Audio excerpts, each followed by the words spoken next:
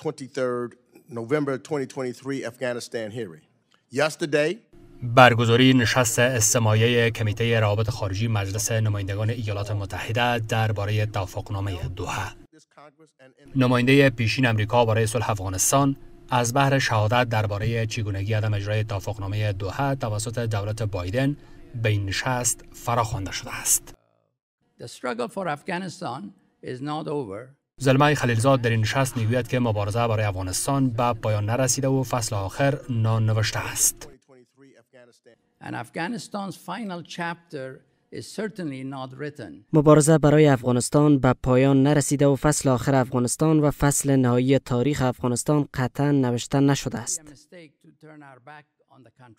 خلیلزاد در این نشست با پشتیبانی از عملکرد دولت بایدن در زمینه توافقنامه دوحه همچنان گفته است بذر کاشته شده امریکا در افغانستان